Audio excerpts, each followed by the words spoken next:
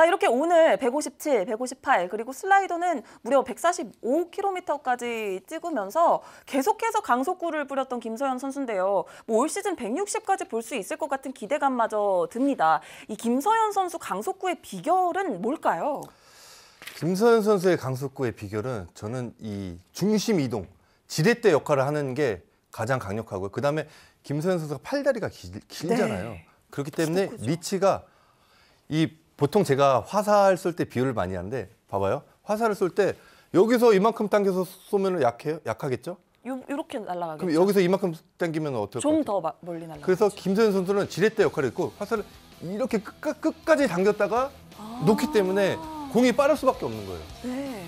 보시면은 그리고 한화의 선수들이 이 정우람 선수의 이 오, 폼을 맞아요. 많이 따라합니다. 왜 그런 겁니까? 중심이 이렇게 있으면 중심이 뒤로 되기 때문에 뒤로 넘어질 수 있는데 정우람 선수처럼 중심이 앞에 있으면 모든 힘을 이렇게 집중해서 모을 수가 있어요. 어. 김서현 선수도 고등학교 시절에는 그냥 이렇게 서 있었는데 지금 보시면 박상원 선수 저렇게 던지죠.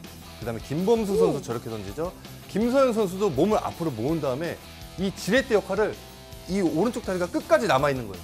야. 그래서 화살을 쏠 때 봐봐요. 이렇게 됐다가 이렇게 몸이 쏠리면 여기서 쏘게 되죠. 그쵸. 그 이건 남아 있고 이렇게 쏘게 되면 이 늘어남이 여기서 화살을 쏘면 빠르겠죠. 더 강력해지는 거군요. 네, 그렇기 때문에 팔다리가 분리가 정말 잘 됩니다. 야. 끝까지 남아있죠. 다리가 저렇게 네. 앞으로 갔는데도 오른쪽 어깨와 팔은 뒤에 끝까지 남아있어요.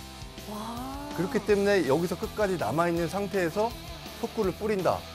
그러면은 엄청나게 빠른 속도가 올라오겠죠. 아, 굉장히 쉽게 비유를 해주셨는데 특히나 또 심수창 해설위원은 김서현 선수를 야구 예능에서 미리 한번 만나서 맞대결까지 또 펼쳤잖아요. 그렇죠. 그래서 더 이 투구폼 잘 따라할 수 있을 것 같은데 한번 보여주세요. 김서현 선수. 저도- 옆으로 던졌잖아요. 김서현 선수 이게 따라하시네. 정말 리치가 큽니다. 네. 그러면서 여기서 던지고 또 팔각도도 김서현 선수가 미세하게 좀 조절을 해요. 네. 그리고 저는 이제 그때 당시에는 110km의 빠른 공을 던졌는데 김서현 선수는 너클볼이 115km, 120km가 나오더라고요. 다시 정말- 중계하면서 다 보셨죠? 네. 정말 대단한 선수입니다.